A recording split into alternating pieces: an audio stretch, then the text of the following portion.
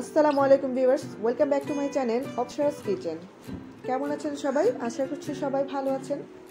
আজকে আমি আপনার জন্য নিয়ে এসেছি একেবারে দোকানে কেনা সেই জিলাপির স্বাদে তৈরি মোচমুচে রসালো জিলাপি। এই জিলাপিটি কিন্তু আমরা খুব সহজে ঘরে বসে বানিয়ে নিতে পারি। অনেকে হয়তো বা জানা নেই কীভাবে জিলাপি তৈরি করতে হয়। তাহলে আসুন জেনে নেই কীভাবে জিলাপিটি তৈরি করতে হয়। আমি আজকে আপনাদের জন্য তৈরি করে দেখাবো। এর জন্য প্রথমে আমি একটি বাটিতে নিয়ে নিচ্ছি হাফ কাপ পরিমাণ বেসন। দিচ্ছি এক কাপ পরিমাণ চালের গুঁড়ো। সাথে দিয়ে দিচ্ছি এক চামচ বেকিং সোডা। এখানে কিন্তু বেকিং সোডাই ব্যবহার করবেন। বেকিং পাউডার দিলে কিন্তু হবে না। দিয়ে দিচ্ছি লবণ। সবগুলো শুকনো উপকরণ আমি একসাথে মাখিয়ে দিচ্ছি।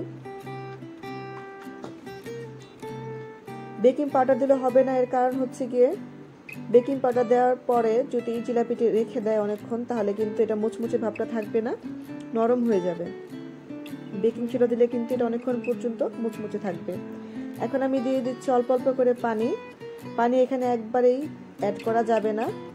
অল্প অল্প করে দিতে হবে, যে পরিমাণ পানি লাগবে আমার, আমি পরে বলে দিব।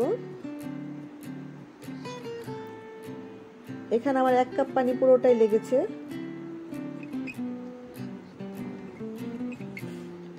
বেটারটা কিন্তু একটু কেকের বেটারের মতোই হবে অনেকটা।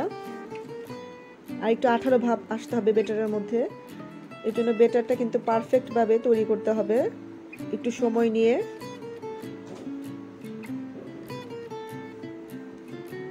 এখন আমি এর সাথে দিয়ে দিব ইয়েলো ফুড কালার অনেকে এটাকে আমরা জর্দা রঙও বলে থাকি। এই কালারটা দিলে মিষ্টির একটি সুন্দর কালার চলে আসে, সেজন্য দিয়েছি। এটা অপশনাল আপনারা চাইলে এটা নাও দিতে পারেন। তবে এটা দিলে জিলাপির রংটা খুব ভালো আসে। আমি ভালোভাবে মিশিয়ে নিচ্ছি, দেখুন।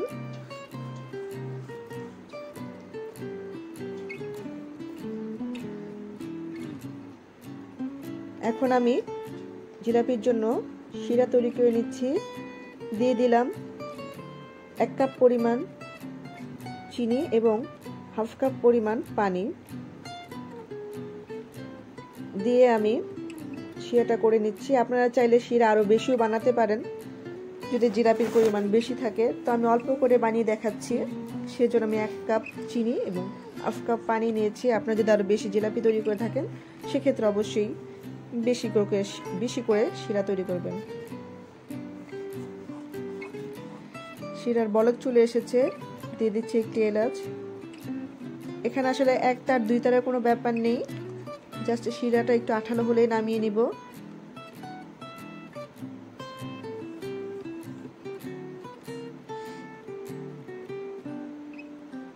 খুব ভালোভাবে নেড়ে চেয়ে নিচ্ছি আর বোঝার চেষ্টা করছি শিরাটা হয়েছে কিনা।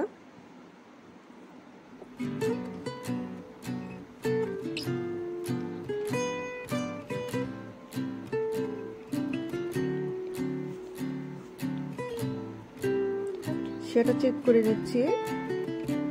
হ্যাঁ সেটা কিন্তু হয়ে গেছে। অনেকটা আঠালো হয়ে গেছে। এখন আমি চুলাটা বন্ধ করে দেব। বন্ধ করে এর সাথে দিয়ে দিব সামান্য পরিমাণ লেবুর রস। লেবুর রস দিলে দেখা যাবে যে শিয়াটা যদি নামিয়ে রাখি, অনেক সময় জমে শক্ত হয়ে যায়। লেবুর রস দিলে শিয়াটা পাতলাই থাকবে, জমে যাবে না। এখন আমি ব্যাটারটা একটি সসের বোতলে নিয়ে নিব। দেখুন কনসিস্টে দেখুন, ব্যাটারটা কিন্তু খুবই সুন্দর হয়েছে।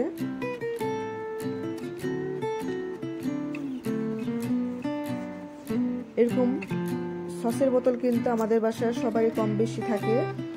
আমি এখানে প্রাণ সসের বোতলটা নিয়েছি। আপনারা চাইলে লবণের প্যাকেটে বা মোটা কোনো কাগজে করে নিতে পারেন। এখন আমি তেলের মধ্যে দিয়ে দিচ্ছি। আড়াই প্যাচের জিলাপি, সবে আড়াই প্যাচ দিতে আমরা কিন্তু জানি না, তা যেমনই হোক না কেন ডিজাইন খেতে কিন্তু সেই জিলাপির স্বাদই হবে।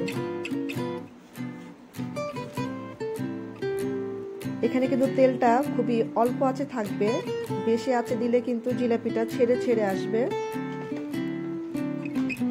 খুব কড়া আছে কিন্তু জিলাপি দেওয়াও যাবে না এবং ভাজাও যাবে না। একটু সময় নিয়ে ভাজতে হবে।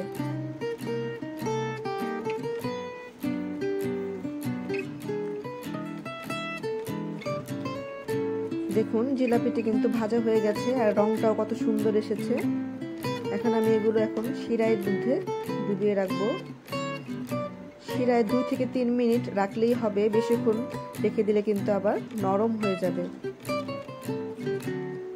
আরেকটা বানিয়ে দেখাচ্ছি আপনাদের, আপনারা চাইলে বড় করেও বানাতে পারেন।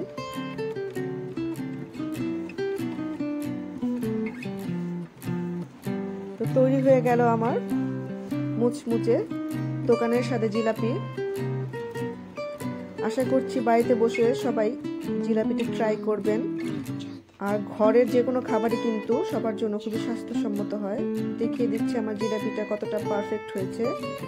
মুচমুচে হয়েছে অনেক। এবং বেশ রসালো কিন্তু দেখুন, ভিতরে অনেক রস। শিয়াটা খুব ভালোভাবে ভিতরে টেনে নিয়েছে জিলাপিগুলো। আশা করছি আমার এই আজকের জিলাপি রেসিপিটি আপনাদের সবার ভালো লেগেছে। তো সবাই আমার চ্যানেলটিকে সাবস্ক্রাইব করবেন লাইক এবং কমেন্ট করে জানাবেন। ধন্যবাদ।